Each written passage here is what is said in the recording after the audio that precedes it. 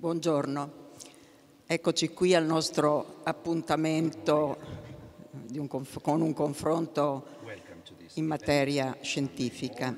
L'abbiamo intitolato La scienza al tempo di Internet. Dunque, questo confronto si tiene a cura dell'Istituto di Genomica Applicata dell'Università di Udine, diretto da Michele Morgante, che è nel nostro comitato scientifico, un docente dell'Università di Udine. Quest'anno si tiene anche in collaborazione con l'Associazione Alumni della Scuola Superiore dell'Università di Udine, che ringraziamo, ed è sostenuto da Europa Bio o Europa Bio, come dici tu. Va bene, chi c'è qui sul palco? Intanto eh, dei personaggi che si occupano professionalmente, scientificamente del tema del contagio, delle false verità scientifiche. Alison Abbott scrive sulla rivista prestigiosa Nature in tema di politiche scientifiche in Europa, dalla sua postazione di Monaco, vero? E, ehm, è una farmacologa e ha ricevuto molti premi per i suoi articoli su Nature e per la sua attività. Walter Quattrociocchi insegna a Ca' Foscari a Venezia e anche lui si occupa di disinformazione scientifica, giusto? e ha scritto, e soprattutto della disinformazione che avviene in internet, ha scritto un libro intitolato Liberi di crederci. Giusto? E, e infine abbiamo Giuseppe Tipaldo che insegna all'Università di Torino una disciplina che non sapevo nemmeno esistesse. Ah, non esiste, però si chiama così ed è sociologia della delle pseudoscienze e ha pubblicato, è proprio in libreria in questi giorni, appunto la, la sociologia delle pseudoscienze. E devo dirvi ancora che in cabina per la traduzione simultanea abbiamo i nostri fedelissimi e bravissimi interpreti Paola Gringiani ed Enrico Varesco. Grazie e buon ascolto.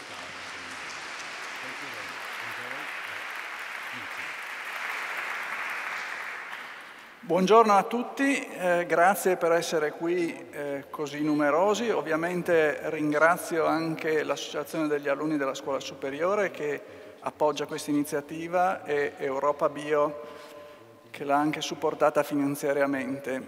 Eh, negli anni precedenti eh, avevamo sempre nello stesso luogo alla stessa ora tenuto una serie di dibattiti che eh, trattavano temi specifici relativi alla scienza Giusto per ricordare, gli ultimi due anni abbiamo parlato di cellule staminali e del loro utilizzo, abbiamo parlato lo scorso anno di nuove terapie mediche innovative e la possibilità che queste possano andare a produrre nuove disuguaglianze nella società. Quest'anno invece eh, ci teniamo su un tema più generale, ossia come si deve comunicare la scienza al tempo di Internet e cosa sta succedendo alla comunicazione scientifica in Internet. Eh, è ovviamente un tema complesso, lo cercheremo di sviscerare con i nostri ospiti. Eh, la scienza ha un rapporto sicuramente positivo con Internet. La scienza ha inventato Internet. Sono 30 anni esatti che gli scienziati del CERN hanno inventato il World Wide Web è stato un sottoprodotto di quella ricerca fondamentale che spesso porta a risultati inattesi e che dovrebbe essere finanziata proprio per questo. E la comunità scientifica è stata la prima a utilizzare Internet, che per la comunità scientifica è uno strumento di lavoro, che ha portato enormi vantaggi. Scambiare dati, scambiare pubblicazioni, scrivere email, essere continuamente in contatto e questo ha portato la comunità scientifica sempre più ad abbracciare un modello di eh, scienza e innovazione aperta. Però a fronte di tutti questi indubbi vantaggi che Internet ha portato per quello che riguarda le comunicazioni entro la comunità scientifica, si è aperto il problema di eh, ciò che Internet ha cambiato in quando la scienza deve aprirsi all'esterno e quando i temi scientifici devono essere comunicati eh, al pubblico. Indubbiamente, se pensiamo al passato, eh, per chi abitava in un eh, piccolo villaggio, i referenti scientifici erano principalmente il medico e il farmacista e le loro opinioni non venivano mai messe in discussione, avevano un'autorevolezza tale che forse possiamo dire che era eccessiva. Oggi eh, nel villaggio globale eh, in cui viviamo siamo forse arrivati all'esatto opposto. Tutto e tutti vengono messi in discussione e, secondo alcuni, eh, le opinioni sono tutte equivalenti, che si tratti di esperti o di non esperti. Ovviamente eh, per la comunità scientifica che si è sempre basata sul valore degli esperti e dell'esperienza, eh, questo pone tutta una serie di problemi.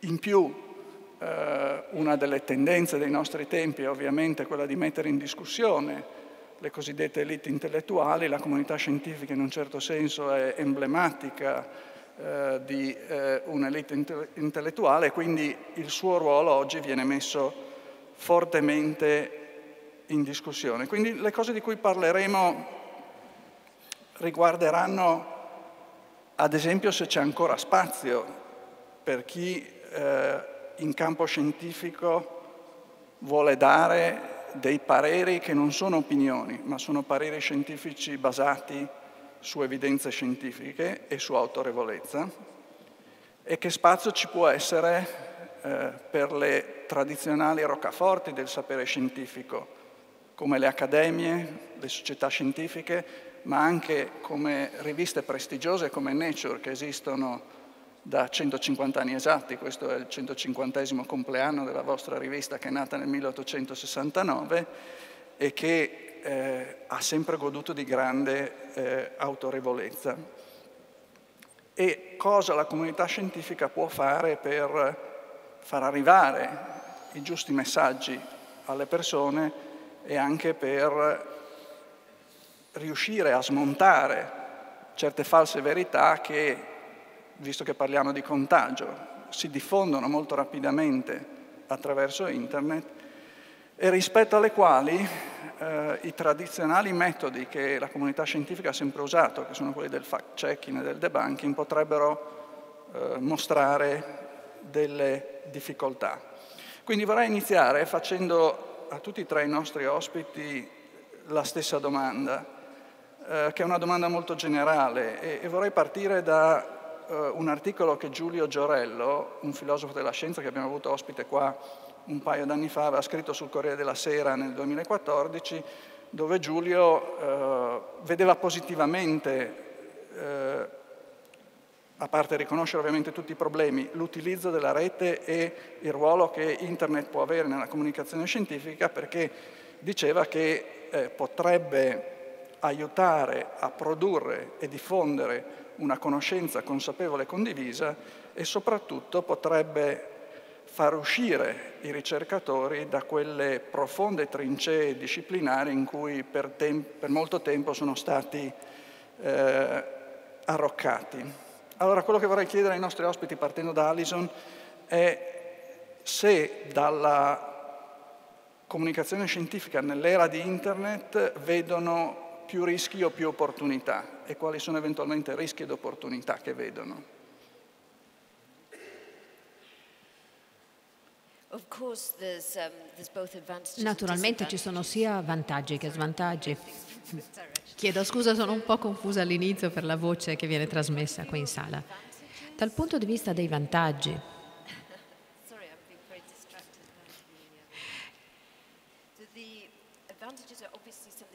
Eh, I vantaggi sono chiaramente molto importanti. Ci sono i dati, i dati sono immediatamente accessibili senza dover attendere. Per quanto riguarda gli svantaggi, sostanzialmente sono gli stessi, nel senso che i dati sono immediatamente disponibili e possono reagire e rispondere senza avere il tempo di digerirle queste informazioni. Walter, dal tuo punto di vista? Eh, ok, eh, in, in italiano, giusto? Ecco. Allora, eh, dal mio punto di vista io penso che internet sia stato un cambiamento fenomenale, nonostante sia demonizzato dai molti. È vero, ci sono stati degli effetti collaterali, ci sono state delle problematiche nel, per quanto riguarda la comunicazione e la fruizione, ma non soltanto della scienza, ma di più ampio spettro su tutte le tematiche, perché eh, in qualche modo si è dato accesso all'informazione e ovviamente adesso stiamo sviluppando gli anticorpi per eh, in qualche modo interagire in questo sistema. Diciamo che fondamentalmente nostro, diciamo, i nostri studi, cioè io dirigo un gruppo di ricerca a Venezia eh, che insomma, ha fatto degli studi che sono utilizzati ad oggi dal World Economic Forum per la mappatura del sistema della disinformazione, quello che viene fuori fondamentalmente è semplice, cioè c'è un mare magnum di informazione, molta di più di prima, pesco l'informazione che più aderisce alla mia visione del mondo, trovo persone che più o meno sono finite lì per lo stesso motivo, perché cercavano le stesse informazioni, quindi si crea un sodalizio tra individui, insieme cooperiamo per strutturare e rinforzare la narrativa condivisa, quindi eh, scientisti con scientisti, vegani con vegani, esistenzialisti con esistenzialisti, cioè chi si somiglia si piglia, si trova su internet e diventa amico, si, si collabora per strutturare una narrativa condivisa, prendiamo le informazioni che aderiscono alla narrativa come buone, non ce ne frega nulla se siano vere o false, perché sappiamo che il dato è destrutturato, c'è tutto un lavoro di decostruzione che viene dal Novecento che ha fatto dei danni mostruosi e poi entriamo in un contesto in cui se qualcuno ci arriva e ci dice che abbiamo torto, la risposta è di polarizzazione resistenza, ignoriamo le informazioni a contrasto. Questo rende molto difficile il veicolare l'informazione in maniera orizzontale, perché se l'informazione in qualche modo è soggetta a una sfiducia, mistrust rispetto all'istituzione, e ad oggi diciamo, abbiamo fatto un altro studio che misura un po' come vanno le fake news rispetto alla sfiducia in vari paesi europei e quello che troviamo che più è bassa la sfiducia, meno fake news ci sono in giro. I campioni della polarizzazione della sfiducia sono l'Italia e la Francia. Spagna e Germania invece se la passano un pochino meglio. Quindi c'è proprio un problema di cambiamento di rapporto sociale tra istituzioni e chi le fruisce. Chi le fruisce non si fida, chi fa la parte dell'elite a volte si dimentica che è un'elite che fa un servizio a delle persone e parla dalla cattedra e quindi questo uscire fuori dalla, dal ruolo di, diciamo, uscire dalla torre d'avorio secondo me è un ottimo incentivo per la scienza perché deve imparare a comunicarsi. In Italia siamo molto attivi nell'ambito della comunicazione della scienza per varie attività, adesso c'è il Science and Food Festival a Mantova, c'è un fortissimo eh, fermento nell'ambito della comunicazione scientifica che va nella direzione di rompere quella eh, sfiducia e ricreare i ponti di comunicazione tra chi la scienza la fruisce e chi la fa. Giuseppe. Uh, beh, innanzitutto buongiorno. Eh, allora, dal punto di vista del sociologo, eh, questa domanda è complessa. È complessa perché se per sociologia e scienze sociali intendiamo quella disciplina che si è consolidata da Max Weber in avanti, cioè l'adozione del metodo scientifico e del ragionamento scientifico nello studio delle società umane, ehm, eh, il più grande ammonimento che Weber ci lascia è che questo esercizio scientifico deve essere avalutativo. È anche vero che è veramente impossibile essere avalutativi, soprattutto quando parliamo di oggetti che hanno un potere e un valore, una valenza sociale così estesa. Anche solo parlarne è un atto politico, è un atto sociale. Eh, il secondo criterio ehm, è che eh, capite bene che internet è tante cose, quindi che cosa abbiamo in mente? Abbiamo in mente l'internet che consente a Walter, a Ellison, a me, a Michele e, a tutti voi potenzialmente di documentarvi per scrivere un libro, un articolo scientifico senza neanche uscire dal vostro ufficio. Il mio ultimo libro... Eh, ha circa 20 pagine di bibliografia, ma ho anche dei difetti, ehm, e ehm, nessuna delle voci di queste 20 pagine di bibliografia è stata eh, consultata in maniera cartacea, anche se io e l'editore siamo stati fermi nel voler stampare soltanto in cartaceo il libro e non produrlo in formato elettronico. Quindi, come dire, eh, ho eh, dei conflitti interiori che dovrei risolvere in una seduta psicanalitica, evidentemente, però da autore è stato molto comodo avere internet e poter non perdere tempo a sfogliare centinaia di pagine, ma poterle cercare direttamente nei nei fogli elettronici. Questo è stato comodissimo per citare gli autori, per capire i dati, per controllarli, per verificarli, per eh, eh, rielaborarli ad esempio. Io eh, ho tirato giù decine di indagini dell'Eurobarometro in formato CSV e lo, le ho rielaborate grazie al fatto che questi dati su internet sono pubblici, eh, è una delle cose che ehm, eh, ci dona l'essere europei e, ehm, e, e, e che non c'è bisogno di chiedere il permesso nessuno per poterli consultare, rielaborare e produrre nuova conoscenza a partire da loro.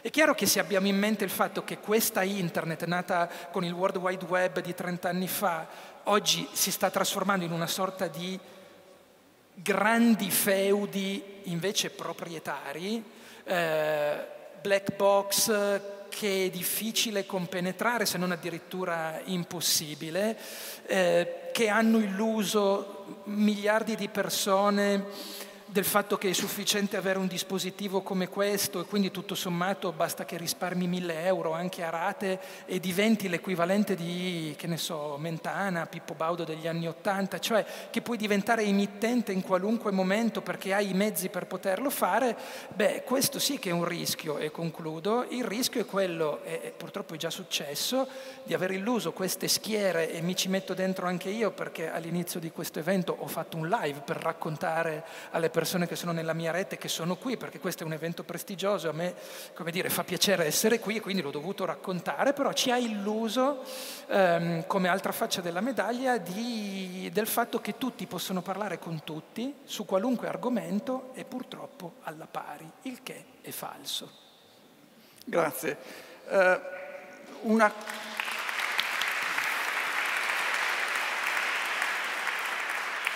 una comunicazione di servizio per la regia. Se potete abbassare leggermente il volume di questi speaker, perché penso sia quello che rende un po' difficile per Alison parlare con la traduzione.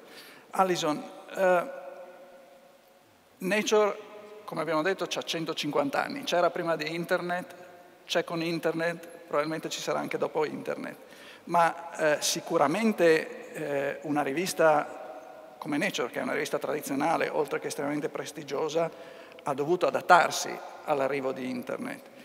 Eh, quindi quali cambiamenti avete dovuto fare per adattarvi al sviluppo di Internet e dei social media? Eh, che presenza avete voi su questi strumenti di comunicazione? Come li vedete, come cercate di utilizzarli? Oppure vi limitate a fare da cane da guardia che controlla e eh, giudica e critica? These off. This, help, this helps me. Okay, so um, quando ho iniziato a lavorare con Nature 28 anni fa, tutto era scritto sulla carta. Io ero l'unica dipendente di Nature ad avere un computer e ad utilizzare la mail.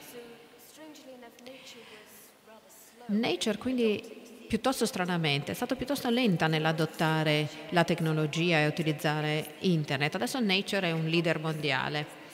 Ha perché è cambiato tutto l'aspetto economico di questo settore dell'editoria scientifica. Noi non siamo soltanto un cane da guardia che sta lì a controllare e criticare, stiamo cercando di promuovere nuove strade per proseguire.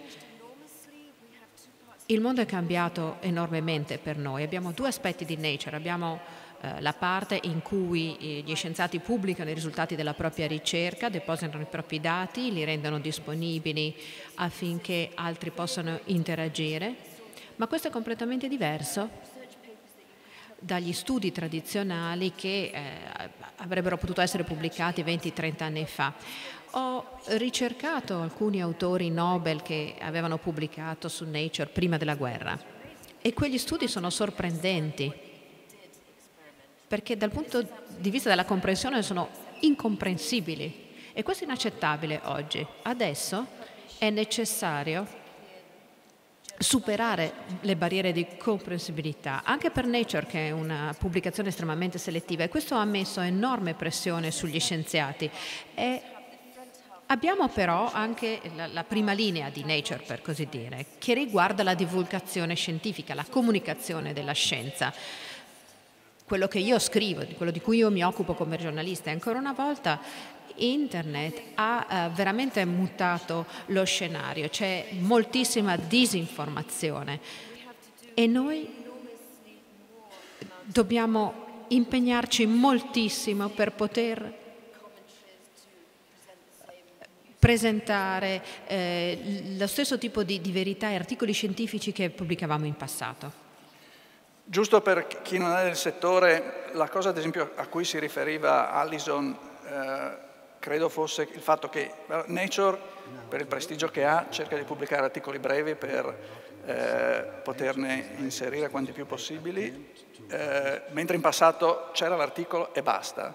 Oggi uno pubblica l'articolo di 2.000-4.000 parole a seconda del formato, ma poi assieme a quello disponibile su internet ci sono 50 pagine che sono chiamate il materiale supplementare dove posso fornire tutto quello che nell'articolo non riesco a mettere. Indubbiamente questo rende per gli altri scienziati molto più accessibile la comprensione di ciò che eh, è stato fatto, quindi sicuramente internet ci ha aiutato. Volevo chieder, chiederti un'altra cosa eh, che è delicata. Eh, Nature naturalmente è prestigiosa, però comunque cerca anche di eh, attirare articoli che possono essere di interesse generale e eh, che possono anche attrarre l'attenzione della stampa generalistica. Eh, quanto siete preoccupati di eh, voler in un certo senso stressare troppo quelle che possono essere le potenziali applicazioni o ricadute pratiche dei lavori che vengono pubblicati per riuscire a avere appeal presso la stampa generale.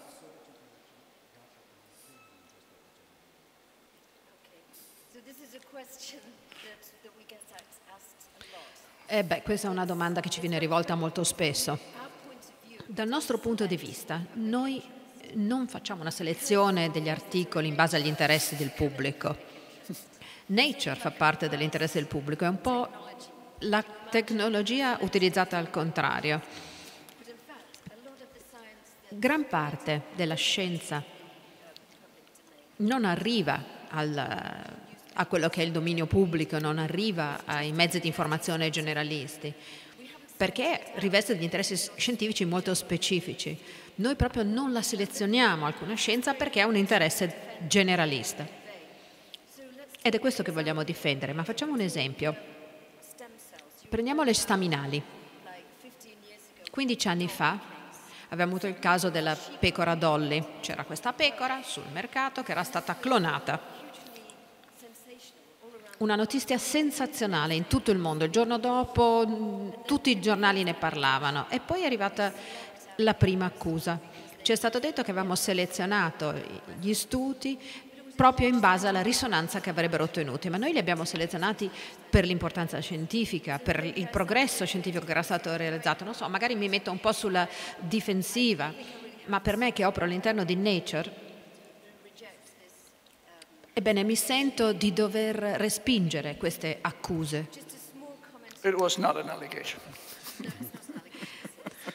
È, una, è un commento, in effetti, magari una concezione errata, ma volevo tornare alla tua prima eh, osservazione.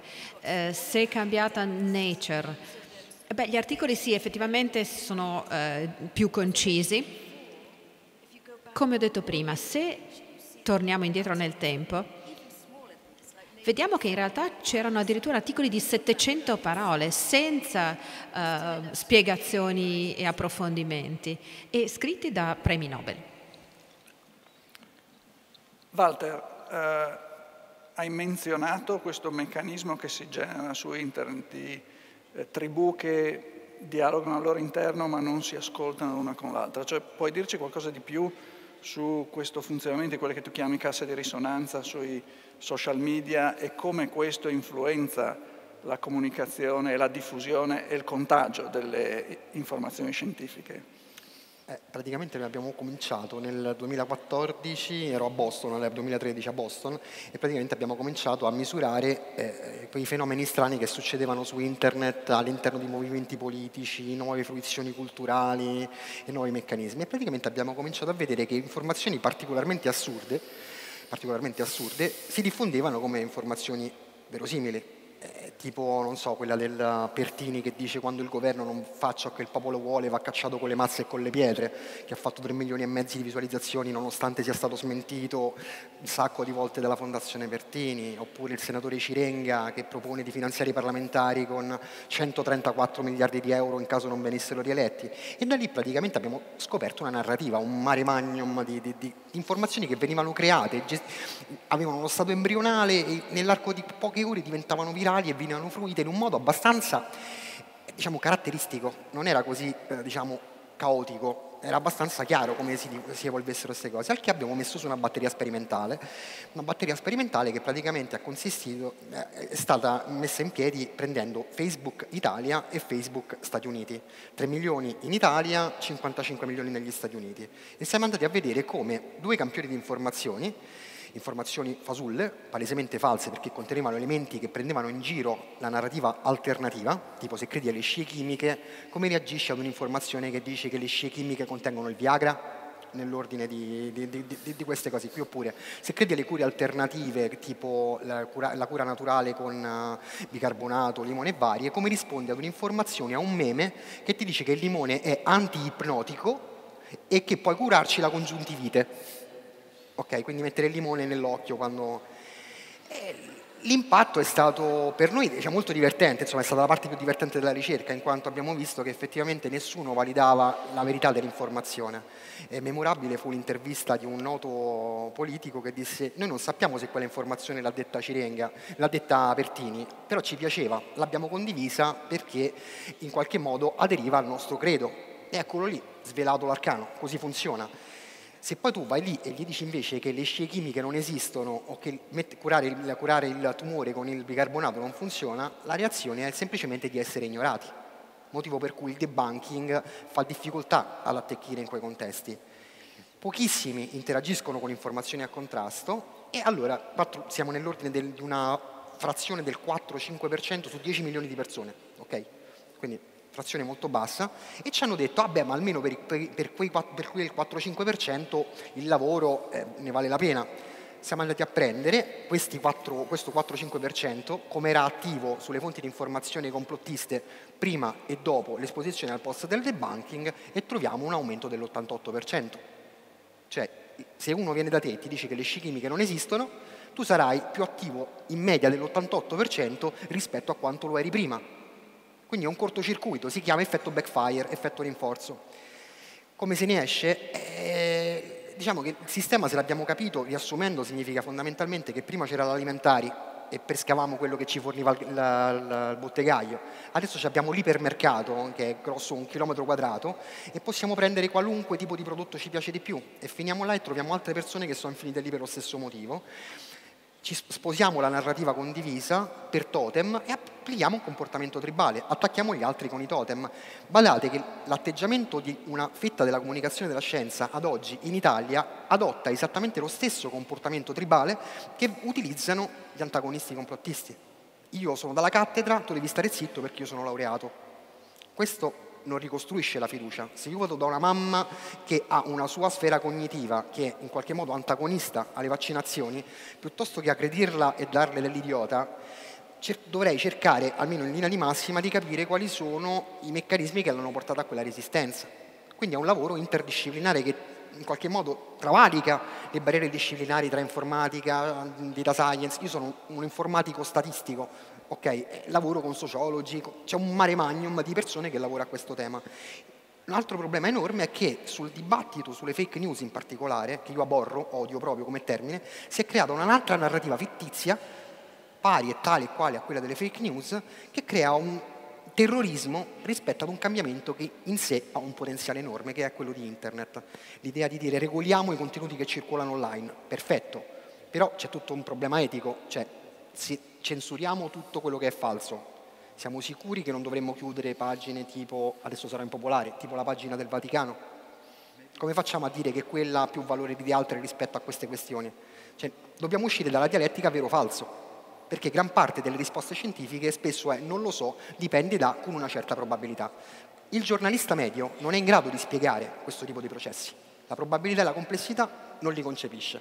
Quindi nel momento in cui si trova a dover raccontare la scienza, spesso ti dice scoperta la nuova cura che ti rende immortale, perché il meccanismo del mercato, il business model, è dominato dal numero di like.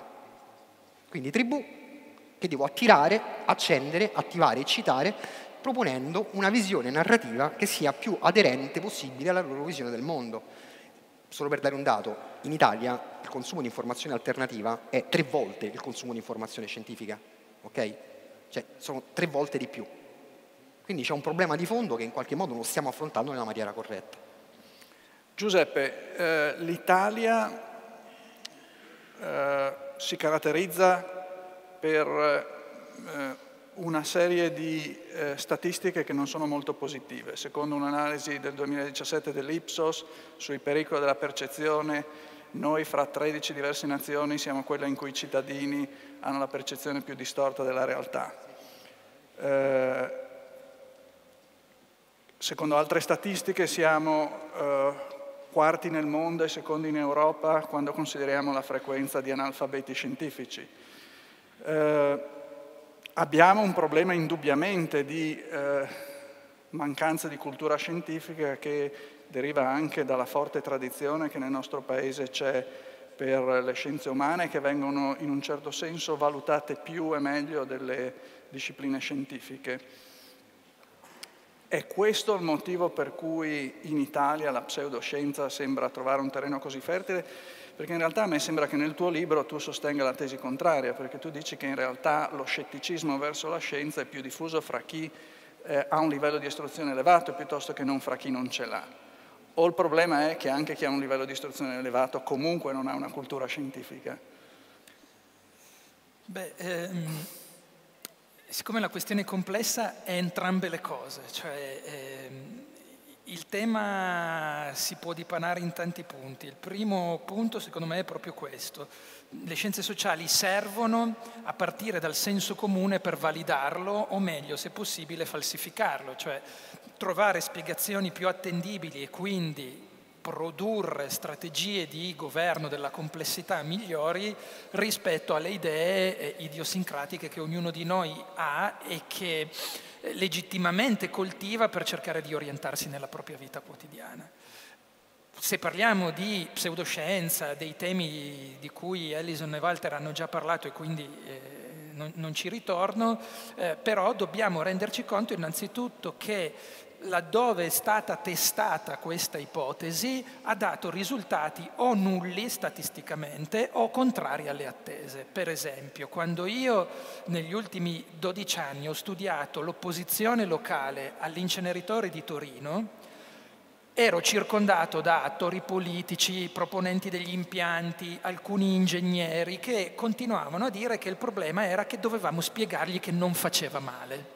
Poi tu provavi a spiegarlo e in realtà ottenevi l'effetto contrario di cui vi ha già parlato eh, Walter, perché dobbiamo capire che quando San Paolo va all'Areopago a convincere gli ateniesi dell'immortalità dell'anima e quindi fa predicazione cristiana, è stato inizialmente accolto come un grande filosofo e profeta, ma appena toccato quel tema gli ateniesi si sono girati, atti degli apostoli, non li so citare a memoria, ma là dentro c'è, e gli hanno detto ciao, su questo ti ascolteremo un'altra volta. Cioè il problema della fiducia e della messa in discussione del cosiddetto emittente esperto rispetto ai tuoi pregiudizi o al frame cognitivo che che ti sei costruito per sopravvivere in questo diavolo di mondo e dargli un senso, precede di qualche millennio Facebook. Facebook è diventato il supermercato da un chilometro quadrato, questa me la riciclo. Eh, è proprio quello il punto. Eh, ora, eh, nel momento in cui noi abbiamo provato a testare con le batterie eh, di domande standard che usa l'Eurobarometro e usano tutti i grandi istituti di ricerca pubblici e privati per testare la scientific literacy, eh, l'alfabetizzazione scientifica, eh, beh, scoprivamo che vabbè, nel caso dell'inceneritore di di Torino comunque era un campione statisticamente rappresentativo della provincia di Torino, quindi non era generalizzabile all'Italia, ma quel territorio che aveva l'impianto sì. Ci diceva che eh, eh non, c'era, oh, eh, non, c'era, una significatività statistica, quindi quella variabile non era utile per scremare la spiegazione che volevi, che, volevi, che volevi, utilizzare, ma che se fosse stata significativa il verso sarebbe stato opposto. Dove abbiamo scoperto da qualche anno ormai che il verso è opposto ed è, è statisticamente significativo? Nei vaccini, in Italia, ma non solo in Italia. Eh, nel Regno Unito, negli Stati Uniti. La California è il principale paese Novax se fosse una nazione a sé stante. Ma è come eh, fino a ieri sera al premio Terzani abbiamo detto che quello è il paese dove ci sono i più grandi utili, dove stanno dominando il mondo. Infatti il problema è proprio questo. Il problema è non una quantità di nozioni da trasmettere, il problema è sociologico perché bisogna capire sulla base di quali variabili e dimensioni sociali minime questa conoscenza poggia. E la variabile che spiega di più nei miei studi è la fiducia. Cioè, e chiudo, quando Almond e Verba, i due politologi che hanno definito negli anni 50 quali sono gli ingredienti base su cui poggiano le democrazie liberali di oggi per evitare di ricadere nei drammi da cui negli anni 50 eravamo usciti da meno di un decennio, beh, loro ci dicono che eh, i due ingredienti fondamentali sono la cultura civica e l'orientamento parrocchiale, lo chiamano proprio così. L'orientamento parrocchiale è il fatto che tu cittadino ti senti libero, ma non totalmente anarchico e hai un atteggiamento nei confronti del sapere costituito, che sia il tuo amministratore di condominio, il maestro o la maestra elementare che viene aggredita non appena smentisce le tue idee sul figlio o sulla figlia perché devono essere premi Nobel, ma contemporaneamente palloni d'oro. Questa pressione non avrà nessun tipo di conseguenza sulla loro psiche, sulla loro crescita, ma quella sgridata in più della maestra o quella bocciatura gli rovinerà la vita li renderà dei serial killer.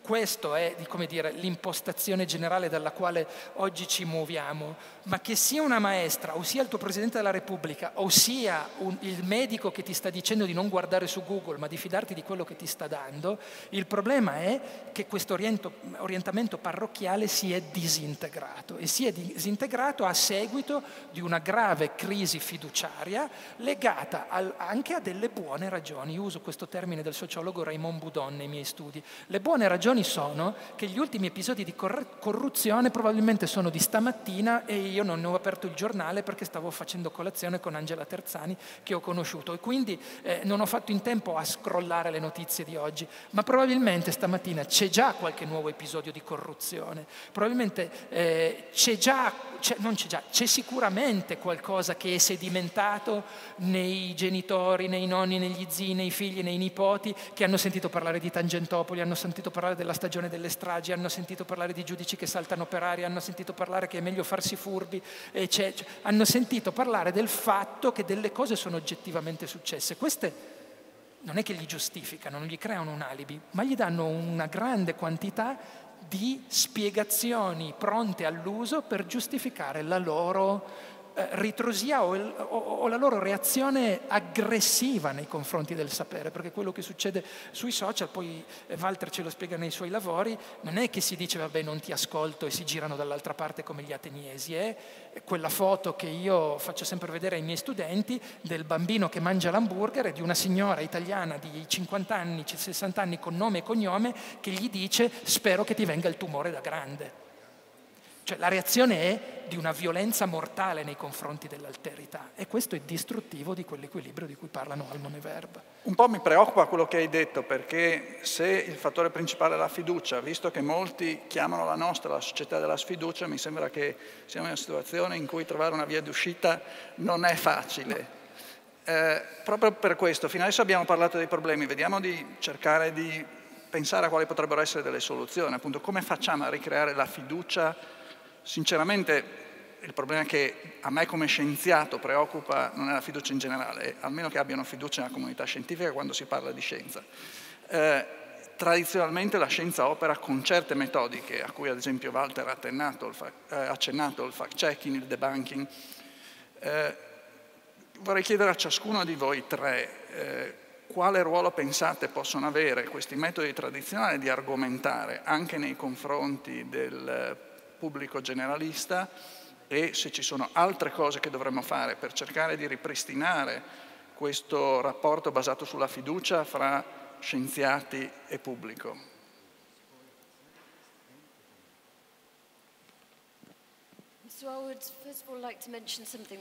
Allora, vorrei toccare un punto che ancora non è stato sollevato, perché secondo me è importante rispetto alla domanda che mi hai fatto. Quando parliamo di internet e della fiducia nella pseudoscienza rispetto alla scienza, beh, noi siamo eh, esseri che si evolvono e si sono evoluti in virtù della paura.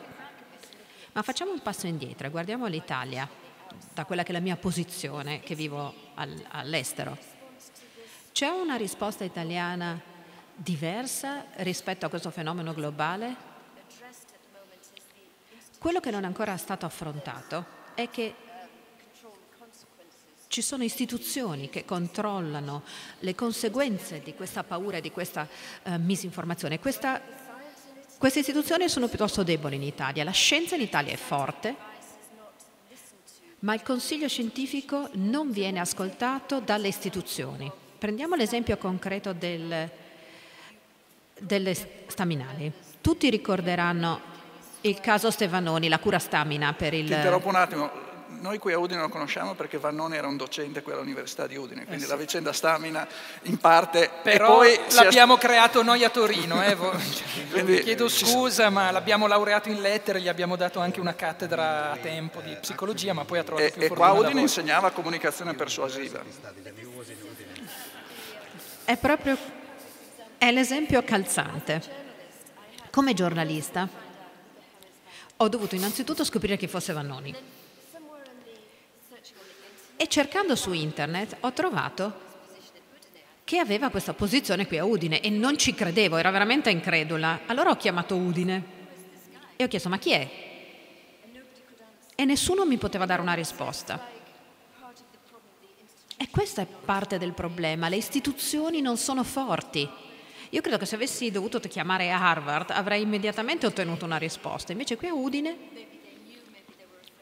Forse sapevano qualcosa, forse avevano paura a parlare, eh, c'era questa paura.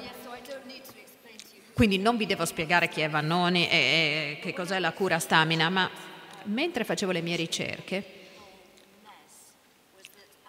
la conclusione è stata che le organizzazioni scientifiche e le agenzie per il farmaco erano intervenute in modo assolutamente corretto ed appropriato mentre la magistratura e i politici non avevano ascoltato il consiglio delle proprie istituzioni scientifiche. Questo è il problema e questo è il problema che credo l'Italia abbia. Ci sono delle raccomandazioni adesso eh, prodotte dal Senato a seguito dell'inchiesta che ha avuto luogo su Stamina e credo che questo possa portare a un nuovo, a un nuovo approccio. e che cosa stiamo facendo e che cosa si può fare, le soluzioni. È sempre quello, è sempre la domanda che viene fuori. No? Il primo passaggio è destrutturante. Il primo messaggio è ragazzi, non abbiate l'ansia da controllo, il sistema è cambiato, non tornerà mai più quello che era prima, perché è un dato oggettivo questo. Come se ne esce? Per esempio, prima di tutto rompendo un po' le posizioni che abbiamo pregresse su questa storia. Per esempio capita spesso che ci siano genitori preoccupati per i figli adolescenti che condividono le fake news online, poi fai i corsi per i licei, vai per i licei, eh, per i ragazzi, vai dai ragazzi spiegando i meccanismi, i nostri bias, come funziona il cervello e scopri che l'alunno ti dice guarda che chi condivide le fake news è mia mamma o mio papà. ok, quindi il mondo è molto, molto più articolato di quello che ci narrano se, perché se guardiamo al mainstream media il problema contemporaneo sono le fake news, è il dramma del mondo. Abbiamo scoperto nel 2016 che l'essere umano si lascia influenzare dalle emozioni piuttosto che dalle, dai fatti razionali. Cioè, insomma, lo sapevamo già da un po' prima forse, pure dall'illuminismo era chiara questa cosa, però in qualche modo ci ha, preso, ci ha colto alla sorpresa, no? alla, alla sprovvista, e, e Brexit Trump, deve essere colpa di qualcuno se le cose non vanno come in qualche modo organizzato in maniera razionale diciamo, la situazione è più complicata di così, molto più complicata di così. E eh, per esempio il fatto che ci sia una relazione tra eh, le, le informazioni che fruiamo e l'effettivo comportamento elettorale ancora scientificamente non è stato chiarificato. Abbiamo risultati contraddittori, c'è chi dice sì, c'è chi dice no. Addirittura c'è chi ha azzardato la definizione di fake news come tutto quello che devia dallo standard giornalistico, cioè il 99% di quello che sta su internet. Tutto quello che sta su internet è meme, è un'immagine che evolve, un qualcosa.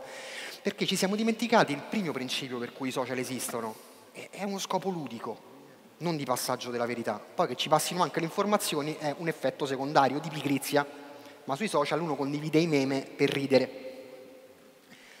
Quindi come se ne esce? Prima di tutto prendendo consapevolezza del problema, che non è le fake news, ma la polarizzazione e il comportamento tribale che ne emerge nel momento in cui posso accedere a qualunque tipo di informazione e a qualunque tipo di narrativa e trovare altre persone che la pensano come me. Questo, quello che deriva da questo. Come si diceva, suggeriva Samantha Power, ex ambasciatrice statunitense all'ONU, parlando dei nostri lavori alla graduation ceremony di Yale, modestamente, dice che eh, non dobbiamo parlare con gli altri per fargli cambiare opinione, ma dobbiamo parlare con gli altri perché potrebbero pure aver ragione, la saggezza delle donne, eh, eh, al di là del razionalismo maschile. Entrare in comunicazione, ricreare quel tessuto di fiducia, perché effettivamente il problema reale sembra essere questo scollamento tra l'elite che vive nella torre d'avorio e chi effettivamente pensa di subire i problemi o ha la percezione di subire i problemi, perché non è detto che i problemi siano reali, eh? la percezione conta molto di più, cioè, questo è dato di fatto ormai. Come si fa? E noi stiamo lavorando in questa direzione, abbiamo fatto un esperimento dove veicoliamo le informazioni di debunking e fact-checking in diversi modi e per trovare un legame empatico con chi le fruisce, cioè trovata l'eco chamber, quindi il gruppo di riferimento, trovato le narrative su cui si arrabbia, su cui si accanisce, trovare un modo di veicolare l'informazione in modo tale che sia in grado di abbassare quel livello di polarizzazione. E i risultati non ve li posso ancora dire perché siamo sotto non disclosure agreement per via di un progetto, però diciamo, non, non sono netti, non c'è un'idea chiara di, di come funziona. Abbiamo esteso questa ricerca alla comunicazione della scienza e stiamo cercando di capire eh, come tematiche molto controverse come intelligenza artificiale, vaccini e cambiamento climatico possano essere raccontate in maniera scientific sound, cioè scientificamente sana. Perché se diamo retta a quello che dicono per esempio i giornalisti sul tema di intelligenza artificiale, se voi ci fate caso parlano più i filosofi che gli informatici che l'intelligenza artificiale la fanno l'etica dell'intelligenza artificiale, si è creato questo mostro terroristico che alla fine se uno va nella statistica spicciola scopre che è poco di più nella regressione lineare, insomma c'è Pitagora più o meno come, come, marchingegno, poi applicata su tanti dati è molto potente, ma le, cioè, avranno dei diritti, potremmo, siamo nell'ambito del dibattito fondamentalmente sulla fuffa perché ci piace molto fare questo approccio di scrittura creativa e in qualche modo questo è un, secondo me l'elemento più grosso di sfiducia del cittadino medio rispetto all'elite, perché se uno comincia a parlare di eh, fake news come il male del millennio, la pestilenza, e l'intelligenza artificiale come il male assoluto, i vaccini come una cosa buona, in qualche modo qualcosa non torna. Cioè, perché mi devo fidare per forza? Questi dicono un sacco di supercazzole, è il termine più utilizzato. E in qualche modo dobbiamo bypassare questo limite perché sono cambiati proprio le modalità di comunicazione. È inutile che lo neghiamo, la modalità di comunicazione è pervasiva, il cambio di modalità va dalla politica alla scienza all'arte, passa, è trasversale. E se non ci adeguiamo a questo marchingegno che è cambiato e impariamo ad ascoltare e avere un passaggio di comunicazione che considera l'interlocutore come un essere senziente, probabilmente eh, avremo vita breve. Questo è un po' il messaggio. Mi chiedo come il traduttore abbia tradotto supercazzola. Comunque credo super bullshit, immagino. Eh? Eh, se non l'ha fatto lo brevetto io come eh, ma eh, io comincerei a fare un, una domanda al pubblico che è questa, solo per alzata di mano, tanto è buio, potete anche fingere. Eh, cosa è successo di recente a Palermo? Dite, ma che domanda per alzata di mano è? Era per vedere se eravate pronti. Quindi per acclamazione, chissà cosa è successo di recente a Palermo. Okay. Una professoressa, ok. Prima di questa notizia che metterei da parte per non aprire un grosso dibattito eh, sul quale mi farebbe piacere dire delle cose ma non è attinente al tema. Qualche giorno prima di questa triste vicenda, qualcuno sa cosa è successo a Palermo? Questa è la spiegazione di come funziona l'agenda setting, perché in realtà probabilmente molti adesso diranno ah sì è vero, i terrapiattisti, il convegno mondiale. Però l'evento della professoressa era molto di più loro, nel loro frame cognitivo e ha contribuito a scalzare di botto il convegno di cui sicuramente hanno sentito parlare per occupare invece completamente la loro attenzione con questa urgenza. Però di questa vicenda del terrapiattismo siamo tutti edotti, anche se a Palermo nessuno di noi probabilmente è stato di recente, perché i giornali, ma non i giornaletti tipo eh, Chi, Visto, eh, Lercio, con tutto il rispetto Lercio è un grande giornale, ormai è diventato probabilmente la più autorevole testata che abbiamo in Italia, ma eh, anzi ha questa capacità di predire anche il futuro, ormai che è angosciante e divertente allo stesso tempo. Ma, perché i grandi giornali ne hanno parlato. Allora io polemicamente nel mio piccolo ho fatto notare a quei pochi giornalisti che conosco ma ammesso che fosse rilevante parlarne la prima volta, ma perché, scusate che mi arrabbio, perché diavolo ne avete parlato per cinque giorni di fila fino a che appunto a Palermo non è successa un'altra cosa ben più grave su cui avete fatto benissimo a, tenere alta l'attenzione. Ma del terrapiattismo, dopo che mi hai fatto mezzo trafiletto, ammesso che fosse rilevante, e me lo devi dimostrare perché è rilevante, perché io onestamente da studioso della comunicazione non l'ho capito perché è rilevante perché se voglio scherzare, scherzo sull'ercio. Tu stampa, tu Corriere della Sera, non mi devi eh, far vedere quello come una nota di folklore, perché le cose sono due, o non hai capito come funziona la comunicazione oggi, ed è grave, ma secondo me la cosa è peggiore, tu l'hai capita e non hai trovato ancora il modello di business per stare in piedi e quindi stai usando qualunque cosa per fare clickbaiting, ma il clickbaiting va eliminato dalle testate, basta, cioè...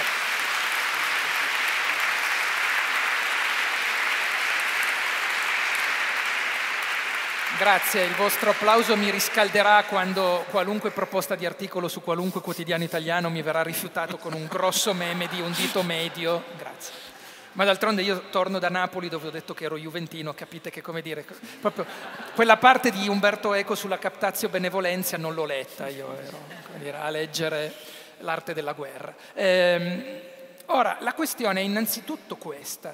Eh, la, seconda, eh, la, seconda, questione è come possiamo essere propositivi. Beh, io non mi aspetto che la mammina informata, il papino frustrato, eh, reagiscano nella direzione che si aspetta un Burioni eh, dei tanti che adesso sono emersi e va benissimo che ci siano, non è nulla da dire né da polemizzare, ognuno è giusto che decida di comunicare la scienza come meglio crede eh, purché eh, dire, sia consapevole dei risultati a cui quel tipo di comunicazione lo porta. Se il risultato è quello di risvegliare l'orgoglio come Fantozzi che dice la corazziata Potionchi è una cagata pazzesca con i 92 minuti di applauso va bene, se il risultato è dialogare, aprire un canale comunicativo solido, solido con i dubbiosi non è quello eh, il modo, nel senso non penso che Gandhi insegnasse la pace eh, eh facendo un corso di eh, cinture nere di karate, ecco, questo, eh, però non c'è dubbio che, eh, che, anche quel modo può funzionare indirettamente per risvegliare ad esempio l'orgoglio di scienziati che erano caduti in una spirale del silenzio, quindi il mio non è un attacco a Burioni, ma la questione essenziale è ehm, perfettamente questa, non mi aspetto che il destinatario finale si, si muova, perché usa Facebook per avere quelle conferme di cui eh, Walter ci parlava prima. Io mi aspetto che siano i mezzi di comunicazione di massa tradizionale che smettano di vagare e brancolare nel buio e prendano delle posizioni, che inserti scientifici riportino articoli sull'omeopatia o trattino il tema delle diete come lo potrebbe trattare una qualunque fattucchiera o un fattucchiere eh, per strada, questo è un problema perché non puoi chiamare quello inserto scientifico, lo devi chiamare pseudoscientifico, supercazzola, lo devi chiamare ho bisogno che mi compri questo giornale perché devo sfamare la mia famiglia, va bene tutto, purché tu non usi la parola scienza. Ne, nei miei lavori Propongo infatti non il debunking scientifico di nuovo, attività utile ma ma soprattutto per confermare chi a furia di ricevere supercazzole si è spaventato. Mia moglie, che il giorno in cui siamo andati a vaccinare il mio bimbo, eh, quando ci hanno chiesto se volevamo fare anche il rotavirus, lei era per il no perché gli hanno detto che era facoltativo e abbiamo dovuto litigare per farglielo fare, ma mia, mia moglie non è una Novax, ma investita di tutta questa comunicazione era oggettivamente spaventata per un cucciolotto che aveva qualche mese di vita.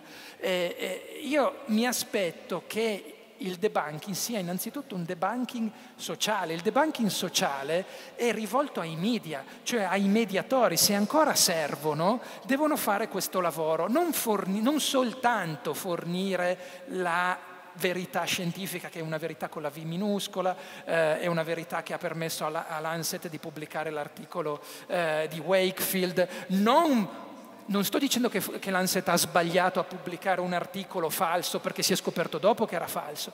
Dico che l'Anset come diavolo fa a pubblicare un articolo con 12 casi quando io ai miei studenti triennali, che non sono scienziati ma sono scienziati sociali, gli dico che se vogliono fare un campione statisticamente rappresentativo non sono in grado di fare quella tesi perché non hanno i soldi per crearlo un campione rappresentativo. Come diavolo fai a parlarmi di un rapporto probabile tra malattie intestinali, tra l'altro, non tra autismo, e eh, vaccino MMR, la trivalente, con 12 casi su 2 miliardi di giovani che esistono nel mondo. Cioè, era lì il fallimento del mediatore. Il mediatore deve lavorare non solo sul contenuto, ma sul metodo. E sul metodo, magari avremo tempo dopo, però io ve la butto lì. Esiste un linguista russo che nei primi decenni del Novecento Scoprì come Fantozzi con gli sfilatini quando la moglie lo tradiva con il nipote del fornaio, avevo promesso ieri sera a cena che l'avrei fatta questa, questo riferimento e le promesse vanno mantenute.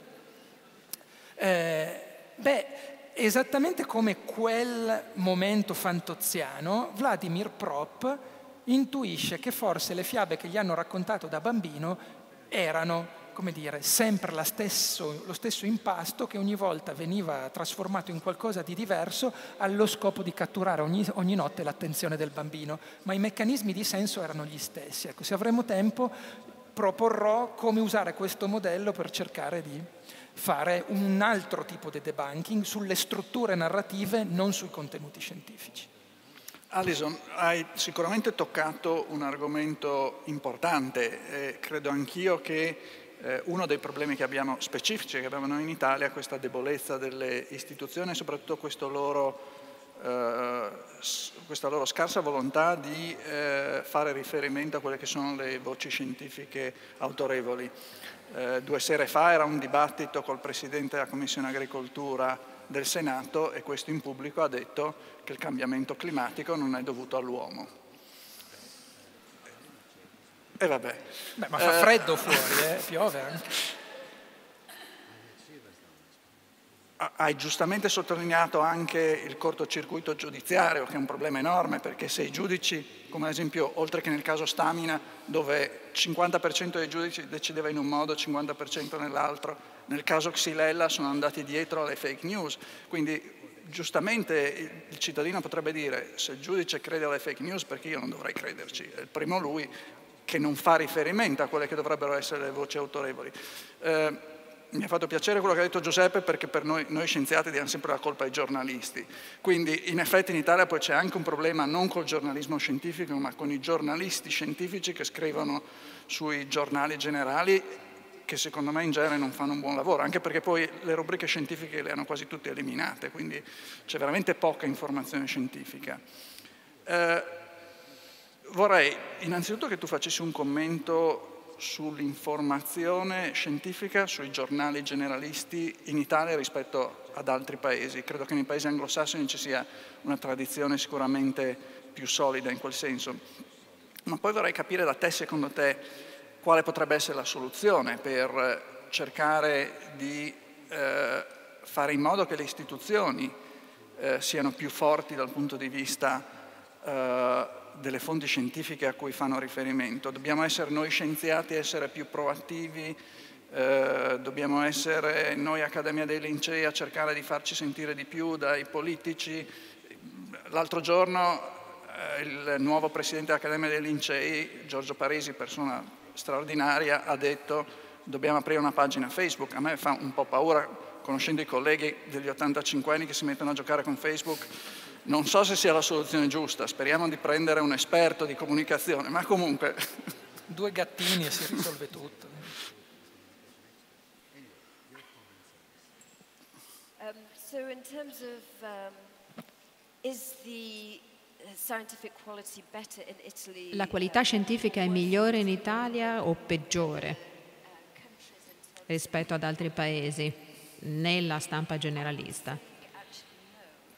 La mia risposta è no. Io vivo in Germania, ehm, vengo dal Regno Unito, ho conosciuto quindi eh, diversi paesi, ho visto quello che viene prodotto dai mezzi di informazione italiani e la situazione è un po' la stessa ovunque. Ci sono uh, degli organi di grande qualità che fanno comunque degli errori, ma in genere riflettono uh, in modo appropriato la verità, ma non hanno un grossissimo seguito di pubblico e poi abbiamo riviste, pubblicazioni eh, che sono meno precise, magari più popolari. Ora, in Italia secondo me ci sono buone fonti che hanno maggiore diffusione, il problema è da ricercare altrove. Comunque la mia risposta è che non esistono differenze significative rispetto ad altri paesi. Poi, cosa fare? Due cose. Quando si parla della scelta operata dai mezzi di informazione, se i mezzi di informazione dovrebbero riportare il problema dell'insegnante oppure del convegno internazionale dei terrapiattisti, dovrebbe esserci più storie scientifiche sui mezzi di informazione. Ora, la selezione può risentire di quelli che sono i vostri sforzi di scienziati Spetta a voi trovare qualcosa di interessante da dire, in modo che una storia possa uscire sui mezzi di informazione. La mia critica da un punto di vista generale rispetto alle comunità scientifiche e accademiche di tutti i paesi è che queste comunità non sono proattive nel loro approccio, non si vedono eh, come portatrici di una responsabilità nel promuovere un dibattito, nel dar vita a un dibattito, nel dare ai mezzi di informazione qualcosa su cui lavorare. L'Accademia dei Lincei. Ricordo qualche anno fa, credo che ci sia stata qualche celebrazione dei 700 anni o i 500 anni, non ricordo, e in quell'occasione ho fatto un raffronto fra l'influenza esercitata dai lincei rispetto ad altre eh, accademie, eh, l'Académie de France eh, e, e altre accademie di altri paesi. E devo dire che questo confronto è stato piuttosto orripilante, però se lo riconsidero eh, e se considero gli ultimi dieci anni, devo dire che la situazione è migliorata. Sotto Parigi credo che la situazione eh, sarà completamente diversa ed è importante che queste accademie si facciano caro delle prossime responsabilità, ribadiscano la verità, ribadiscano di non aver paura di dire la verità, ribadiscono di non aver paura di offendere, di urtare la sensibilità di alcuno nel ribadire la verità. I problemi sono tanti perché a proposito dell'Accademia dei Lincei, anch'io sono convinto che Giorgio Parisi farà un buon lavoro per cercare di restituire quel prestigio che l'Accademia Nazionale delle Scienze si merita. Però io sono rimasto allibito quando eh, proprio Giorgio Parisi ha raccontato che parlando col nostro Ministro della Salute e raccontandogli cos'è l'Accademia dei Lincei, cos'è che fa, il Ministro ha detto, che è un medico fra l'altro, ha detto, ah bellissimo, belle cose, non sapevo che voi esisteste.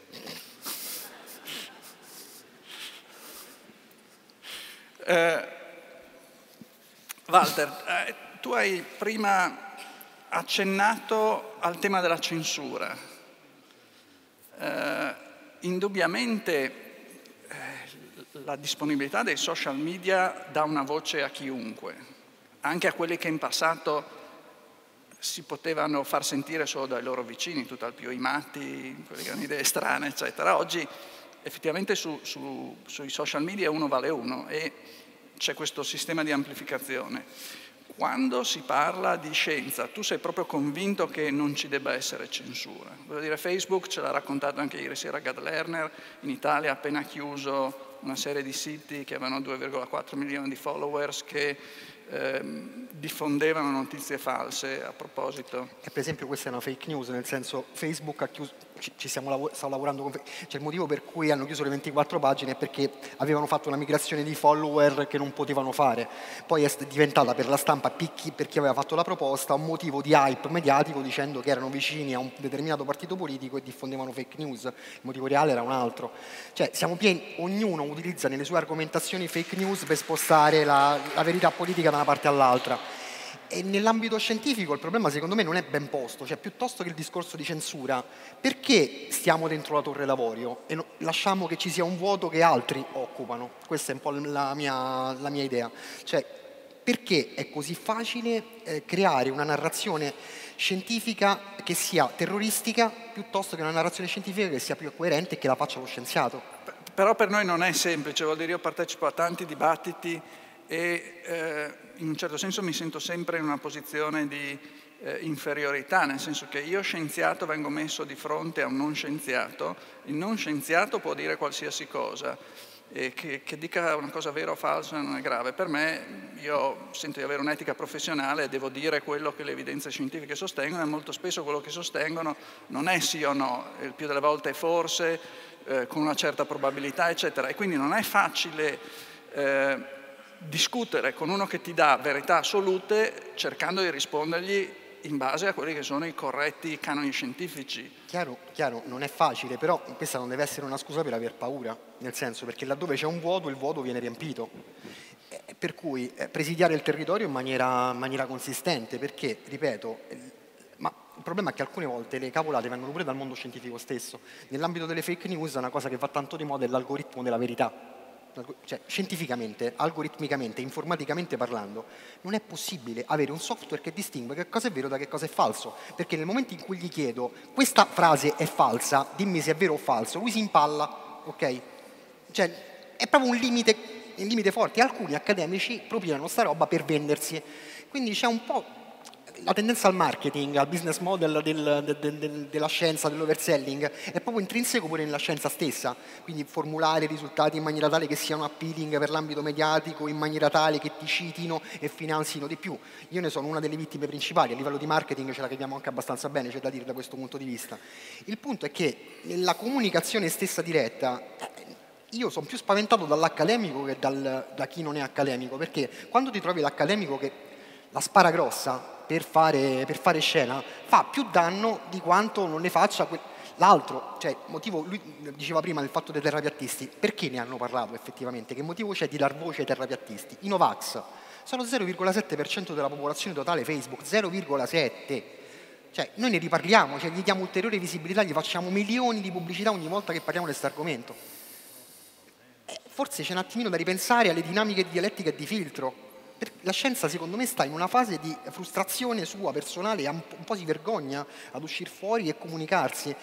No, io vengo dai castelli romani, noi abbiamo la, la, la fede nella porchetta, no? per esempio, e una cosa che abbiamo cominciato a fare è bufale e porchetta, parlare di bufale con la porchetta, entrare in un meccanismo dialogico e maieutico, diciamo, dove si parte non da io ti racconto che cosa è la scienza, ma ti chiedo tu che ne sai delle fake news?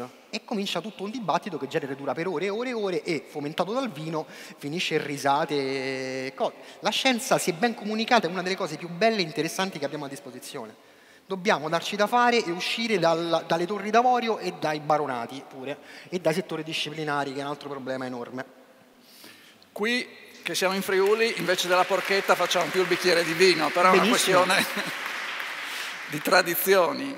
Eh, Giuseppe, Tom Nichols ha scritto eh, un interessante libro che si intitola La conoscenza e i suoi nemici, l'era dell'incompetenza e i rischi per la democrazia.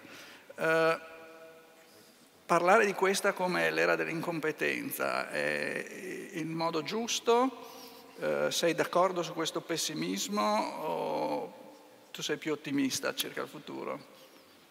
Ma eh Diciamo che la lettura di quel libro è, stato, è stata eh, per me interessante perché mi ha aiutato a eh, formulare meglio alcune idee che avevo eh, per il mio. Eh, la tesi non è particolarmente innovativa, però vale la pena brevemente eh, ricostruirla. Mm, la tesi di Nichols che io condivido, Nichols è, è, insegna sia in un'accademia militare sia a, a, ad Harvard. E, ehm, ed è un conservatore tra l'altro, e, si capisce anche dalla lettura del suo libro, è un conservatore, come dire, di quei conservatori però che sanno argomentare, quindi in questo momento dare a Nichols del conservatore ehm, è, suggestivo. Il maestro dei miei maestri, Luciano Gallino, ci raccontava quando eravamo ancora dottorandi che ormai lui era finito per essere etichettato come un estremista di sinistra, dice ma io sono sempre stato un liberale abbastanza anche come dire moderato, eh, ho iniziato la carriera eh, in Olivetti, siete tutti voi che vi siete spostati ver- verso l'estrema destra e-, e sono io finito per diventare come dire estremista di sinistra senza essermi mai mosso da dove ero, chi ha letto i suoi libri e i suoi lavori lo sa. E Nichols penso che sia più o meno nella stessa eh, posizione perché punta il dito non tanto sui social, su Google, cioè sui, dire, sui colpevoli del, del, del, indicati da Foer ieri per chi era eh, al premio, quelli li riconosce, ma sono un mezzo, non sono dire, una causa. La causa lui la vede molto bene nel sistema accademico americano, ma quando io leggevo quel libro gli dicevo, è beato te che non conosci il sistema accademico italiano, perché se lo conoscessi sapresti come dire che... Eh, eh, la situazione è, ben peggiore di quella che tu vedi, perché lui se la prende sempl- semplicemente per modo di dire su, sul fatto che dire, ormai le università eh, sono diventati dei diplomifici che eh, vengono scelti più per uh, la, la, carta, uh, il, il, marketing che fanno, i, i, fogliettini che ti dicono quanti sport e quanti, quanto è lunga la piscina che c'è in quel college che per altre. Per cui l'università, e questo è vero, da esperienza sconfortante, nel senso proprio eh, letterale del termine, che fa uscire dalla zona del comfort la studentessa e lo studente, è diventata una sorta di villaggio vacanze che ti accompagna con tutti i comfort e che ti dà un certificato sulla base delle presenze che hai fatto, neanche delle, delle competenze a memoria che hai acquisito. Ora, il problema è innanzitutto questo, perché questo ci aiuta a capire perché poi i principali assetti cognitivi pseudoscientifici si ritrovano tra chi quel titolo di studio l'ha preso, non tra mio nonno che era analfabeta in Calabria ed è andato in miniera in Belgio durante la guerra per sfamare quattro figli. Cioè eh, gli assetti eh, pseudoscientifici si trovano tra coloro che hanno fatto un percorso di studio più o meno come scegliamo su Booking il posto dove andremo quest'estate. Ehm, perché non sono del tutto pessimista? Sono, non sono del tutto pessimista questa perché io sono profondamente convinto che noi stiamo qui a discutere di una questione ingigantita e transitoria. Tra qualche anno non ci saranno più questo tipo di discussioni perché o non avremo più la libertà di farle, o non ci renderemo conto più dell'urgenza di farle, oppure, come credo io, ci saranno delle nuove corti che si stanno formando adesso di scienziate e scienziati che avranno acquisito nel loro percorso di studi le competenze umanistiche e sociologiche per poter essere attrezzate a stare nel mondo. Questo secondo me è il futuro positivo che io vedo. Allora, Grazie a Giuseppe per questa nota di ottimismo. Devo sottolineare che sono perfettamente d'accordo con te, però nel sistema universitario italiano al momento è pressoché irrealizzabile perché noi abbiamo, adesso questi sono tecnicismi, ma purtroppo è la realtà con cui noi dobbiamo convivere, il sistema dei settori disciplinari e poi abbiamo le classi di laurea rigidissime che non consentono di costruire percorsi che siano interdisciplinari. Quindi speriamo che chi vuole capire questa lezione la capisca e, e, e capisca che in nome del valore legale del titolo di studio non possiamo sacrificare la possibilità di formare gli studenti con le competenze che dovrebbero avere. E sono d'accordissimo che dovremmo introdurre tutta una serie di competenze trasversali.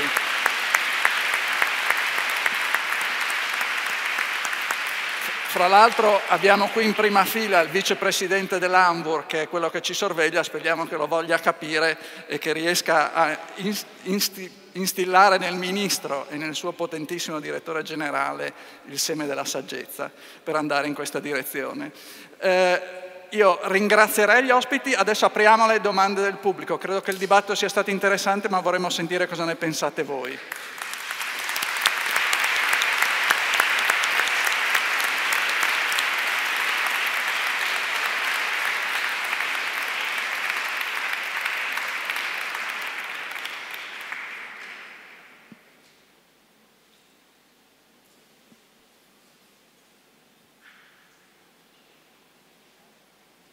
Ci sono domande? Ah, ok.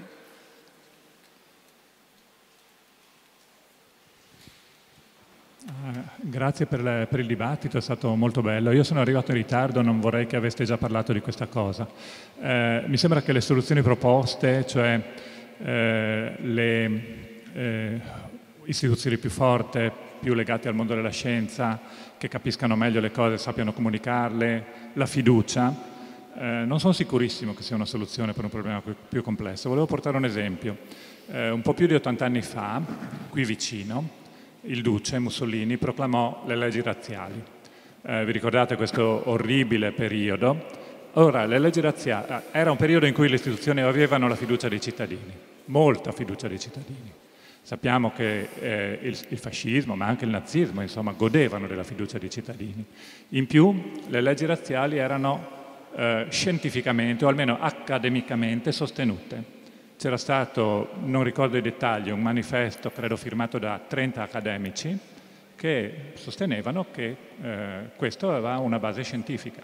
La gente ci credeva, il, regime era molto contento e in qualche modo il fatto che ci fossero grandi razze e piccole razze e che la razza ebraica, che era piccola, dovesse essere epurata eh, dalle università e dalle scuole, aveva un certo supporto scientifico. Allora, questa orribile storia ci spiega che forse le cose sono un po' più complesse della fiducia nell'accademia, nella scienza sì, ma tra scienza e accademia forse c'è una differenza e che le istituzioni forti, di cui noi, in particolare noi italiani, non ci fidiamo e eh, come, come, sappiamo e come qualcuno dei relatori ha detto, ci sono ottimi motivi per non fidarci. Eh, grazie. Allora, prima di far rispondere eh, a questa domanda che trovo interessante i nostri ospiti, vorrei ricordarle che comunque il manifesto sul, eh, sulla razza non fu firmato da tutti gli scienziati e che anzi la maggioranza degli scienziati dell'Accademia dei Lincei non lo firmò e per questo l'Accademia venne sciolta e il regime fascista si creò la sua accademia. Quindi in qualche modo non possiamo dire che quella fosse la posizione della maggioranza degli scienziati italiani. Questo rischio comunque c'è sempre, voglio dire, una delle cose su cui diciamo, troviamo più difficoltà è quando ci dicono la comunità scientifica è divisa, ma quando dicono la comunità scientifica è divisa molto spesso è perché c'è una voce che dice una cosa, ce n'è eh, 999.999 che dicono l'altra che è probabilmente quella più corretta e non è giusto mettere a confronto uno contro 999.000. Nell'ottica dell'uno vale uno sì, eh, però nella scienza purtroppo non funziona così. Eh, vorrei che rispondeste voi a, quindi a questa domanda. Eh, sì, è più complicata di così, decisamente più complicata di così, ma la sfiducia c'è e se non facciamo qualcosa per ritornare in una modalità di dialogo, cioè fo- fondamentalmente, cioè, se- senza farla troppo edulcorata, cioè, l'elite deve fare un servizio alla società, non gode di diritti pregressi che deve esercitare in nome di un diritto divino, ok? Quindi entrare in un contesto in cui la scienza abbia un suo valore, perché l'ha guadagnato, cioè l'autorevolezza non ce l'ho perché parlo dalla cattedra, perché se dico cavolate lo studente esce dall'aula se ne accorge subito. L'autorevolezza la concede l'interlocutore. Quindi se viviamo in un contesto in cui io devo aver paura di parlare con qualcuno che argomenta sulla terra piatta, senza, non, assolutamente io abborro ogni meccanismo di polarizzazione e di aggressione, ma se io da scienziato devo aver paura di dialogare con qualcuno che pensa che la Terra è piatta, probabilmente c'è qualche problema dal, dal punto di vista della comunicazione della scienza, ovvero se noi non entriamo in, in un'ottica in cui che quello che facciamo va raccontato, la terza missione ha anche nel suo la diffusione dei risultati che vengono trovati, rischiamo di far riempire quel vuoto dal nulla e bisogna stare molto attenti anche ad un'altra ripiega di, da questo punto di vista, perché c'è anche un altro pericolo, quando la scienza diventa politica. La scienza non deve avere a che fare nulla con la politica, deve essere indipendente dal regime politico, per cui è stato proposto il famoso patto trasversale per, per le scienze biomediche, che è un po' ingenuo, insomma, scienze biomediche, sai, la racconta un po' a modo suo, la, la, la struttura, però in qualche modo l'iniziativa è quella di dire, ragazzi, la scienza sa questo, se vi diciamo una cosa più o meno è è, quella realtà scientifica, anche se il discorso non è particolarmente discusso, cerchiamo di dibattere su quello, non sulle supercazzole. Questo è uno dei problemi principali.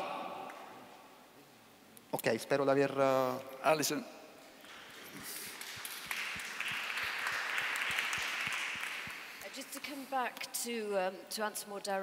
Per rispondere più direttamente eh, sulla forza delle istituzioni, c'è un aspetto che voglio chiarire. Un paese con delle istituzioni forti, all'epoca, non avrebbe permesso l'adozione delle leggi razziali. Questa è la mia definizione di istituzioni forti, le istituzioni forti che proteggono la società da atrocità come quella delle leggi razziali. Quindi le istituzioni di cui parlo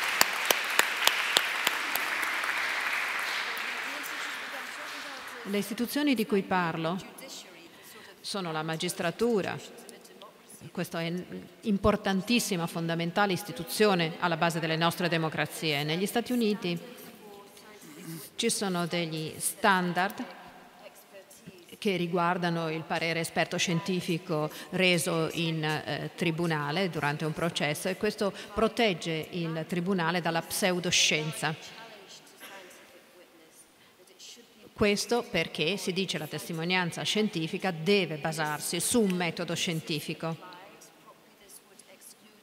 e se applicata correttamente questa prassi esclude eh, la possibilità di avere la pseudoscienza eh, secondo la quale alcune malattie come la xylella, alcune patologie non sono causate da virus ma da chissà cosa. Insomma, lo stesso dicasi delle istituzioni politiche, quelle delle nostre governance. Come ho detto, le agenzie scientifiche dei governi hanno funzionato bene, ma non sono rimaste in contatto con le istituzioni politiche. E il governo non ha ascoltato questi pareri scientifici. Eh, credo che tu abbia toccato un punto fondamentale perché forse non tutti sanno che i giudici quando devono trattare una questione che ha degli elementi che riguardano la scienza hanno l'arbitrio totale nella scelta del loro consulente tecnico d'ufficio e devo dirvi che molto spesso quelli che vengono scelti sono totalmente inadeguati e privi di qualsiasi credenziale scientifica. Ma lo stesso vale per i nostri politici. I politici fanno le audizioni nelle commissioni parlamentari e chiamano chi vogliono, non è che siano a guardare, anzi molto spesso chiamano quelli che servono a sostenere la tesi che loro vogliono portare avanti. Purtroppo è difficile che si riferiscano alle fonti ufficiali ed autorevoli e questo credo che sia buona parte del problema. Ma, ehm, ringrazio per... E il problema in Italia è che non c'è possibilità di reagire.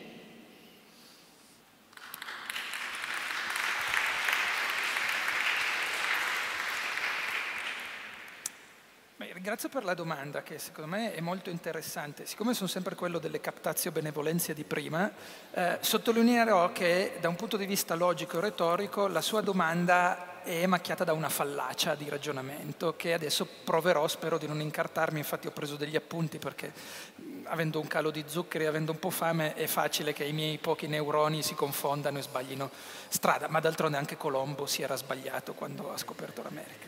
Eh, ora, eh, la fallacia sta in un confronto che lei fa, nel senso che lei produce un'analogia tra un contesto storico ben preciso nel quale non c'era libertà, non c'era più libertà di eh, associazione, non c'era ovviamente, eh, quindi una parte di quel dissenso che ci sarebbe stato e una parte anche di quella spaccatura che comunque è avvenuta all'interno della comunità scientifica è avvenuta per delle premesse che non è legittimo tace- sottacere, perché lei l'ha fatto in buona fede, non ho dubbi, e anzi la sua domanda è stato uno spunto interessante, quindi la ringrazio. Il mio, non entro in polemica con lei, eh, voglio chiarirlo.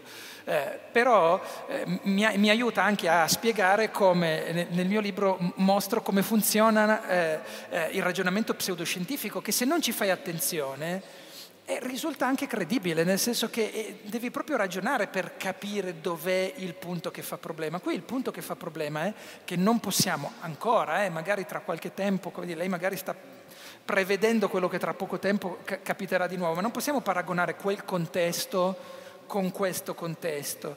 Perché? Perché in mezzo è successo quello che adesso le leggo. Articolo 18 della Costituzione. I cittadini hanno diritto di associarsi liberamente, senza autorizzazione, per fini che non sono vietati ai singoli dalla legge penale. Sono proibite le associazioni segrete e quelle che perseguono anche indirettamente scopi politici mediante organizzazioni di carattere militare. Poi nel dodicesimo dispositivo transitorio finale c'è che è proibito eh, la ricostituzione del disciolto eh, partito fascista. Eh, quanti di voi si sono letti come siamo arrivati qua, a questo articolo 18, eh, per curiosità. Cioè quanti hanno letto eh, il dibattito trascritto che nella sottocommissione sull'articolo 18 ha portato a questa formulazione nei lavori dei padri costituenti? Solo per curiosità. Quanti hanno letto cosa la sottocommissione si è detta per arrivare a questa formulazione?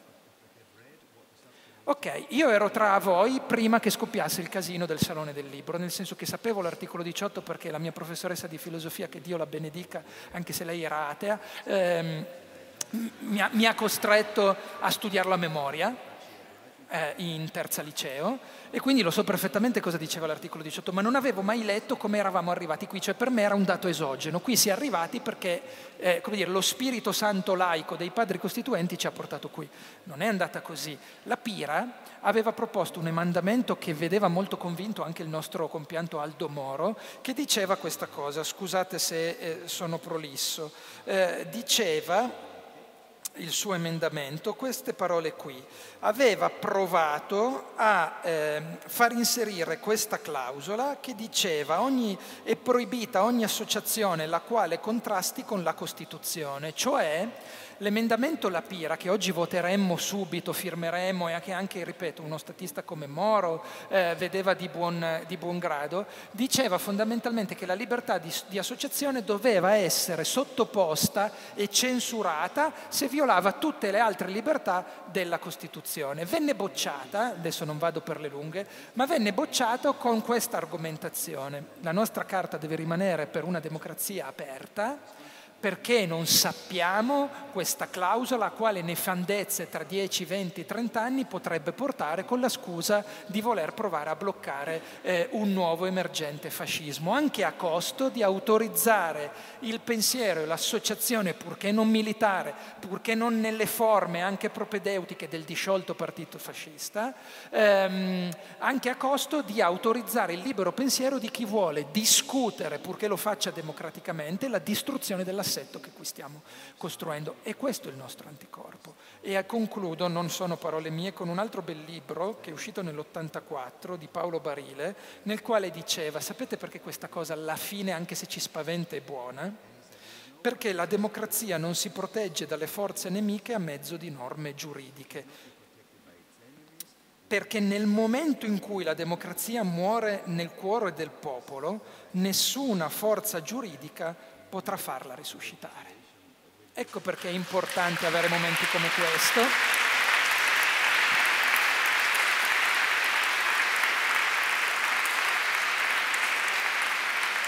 Ecco perché mi permetto di aggiungere la situazione descritta dalla domanda, ripeto, molto opportuna e interessante, è al momento molto diversa dalla situazione che stiamo vivendo noi. Grazie eh, Franca, abbiamo tempo ancora per una domanda, se c'è o è meglio che chiudiamo? Ma ci sono i loro che funzionano meglio dei miei.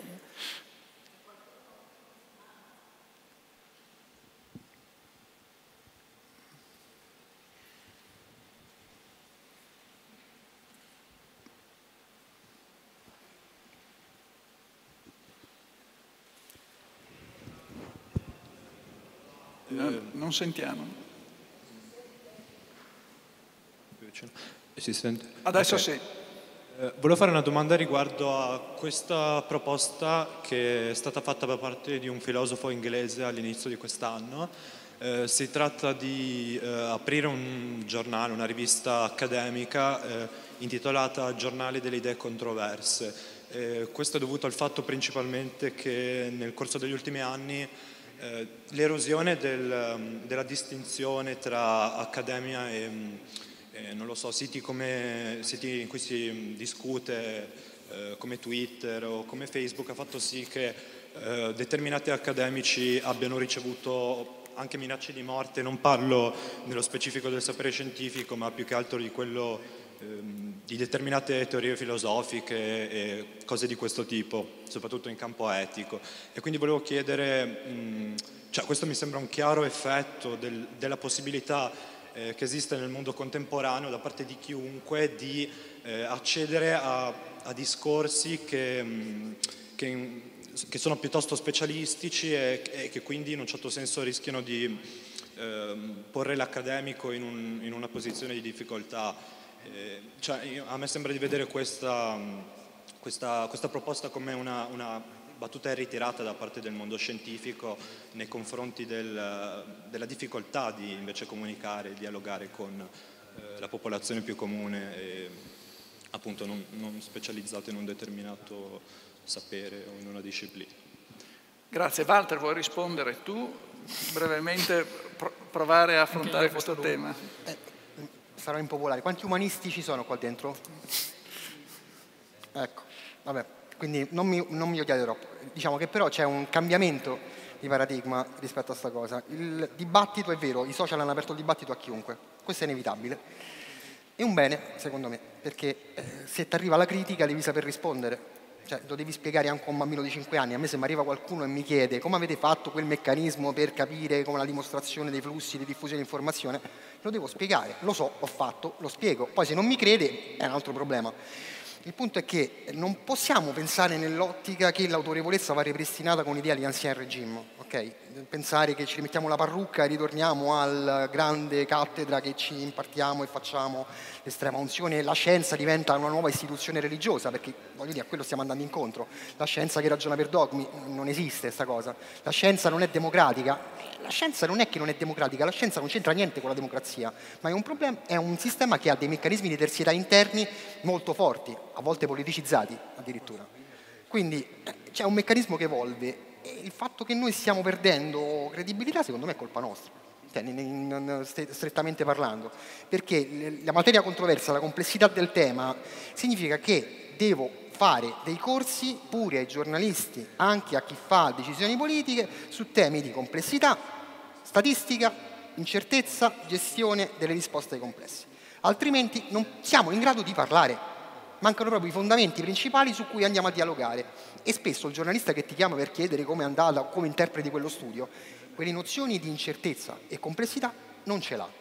Quindi è un problema di evoluzione e dobbiamo tutti, tutti rimboccarci le maniche e metterci a lavorare in questa direzione di un mondo che fortunatamente cambia.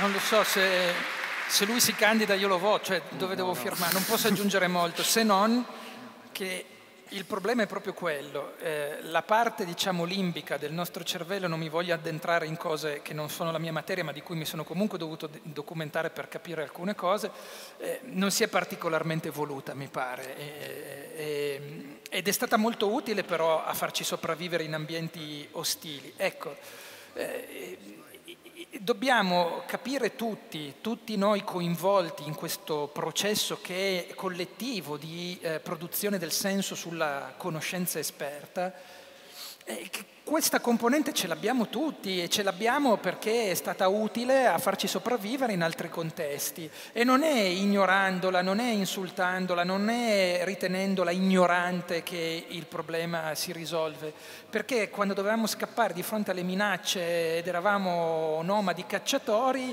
eh, non era chiaramente eh, il principio popperiano di falsificabilità quello che ci veniva in aiuto, era l'istinto di scappare se dovevamo scappare o di lanciare una lancia prima di altri o di nasconderci e mimetizzarci. Insomma, da Simon Kahneman in avanti lo sappiamo che queste cose ormai eh, non sono rimaste in epoca primordiale, ma sono, eh, come dire, si palesano di fronte a nuovi, nuove incertezze che spesso vengono vissute come minacce perché, eh, non perché siamo regrediti e rincoglioniti, permettetemi il termine, eh, non ho detto neanche una parolaccia, per me è strano, ehm, ma perché eh, eh, il contesto è insicuro. Cioè, il contesto nel quale viviamo è insicuro, questo eh, ce lo ha spiegato anche Ulrich Beck eh, al, alla vigilia del, dell'esplosione di Chernobyl, peraltro. Cioè, la scienza nel produrre risposte solleva nuovi dubbi, questo è scontato, lo diceva Beck, lo diceva Bobbio, eh, ed è anche un po' il nostro mestiere fare così. E, il problema è che eh, più che al nozionismo dovremmo educare al, a, a, convivere con queste dinamiche, cioè è la parte più interessante della scienza questa. È chiaro che eh, insomma, come eh, a me davanti a una finale di Champions verrebbe la tramerella perché non sono un calciatore, è normale che chi non frequenta questo tipo di conoscenza eh, si autotuteli e sia preoccupato, ma eh, da qui a stigmatizzare questo comportamento ce ne passa. Grazie, eh, io chiuderei perché credo che tutti noi abbiamo sempre meno neuroni attivi, ringrazierei i nostri ospiti